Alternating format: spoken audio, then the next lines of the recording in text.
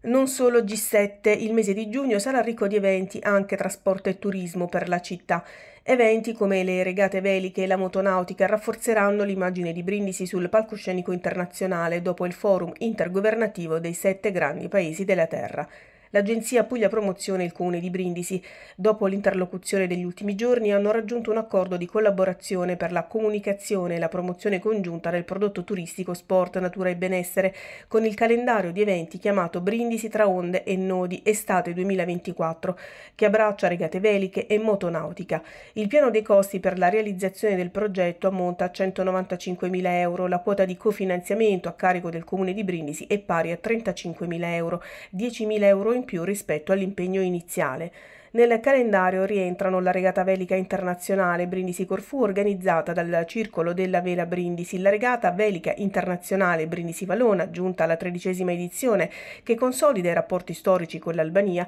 l'evento di motonautica internazionale Adriatic Cup organizzata dall'Associazione Circolo Nautico Porta d'Oriente,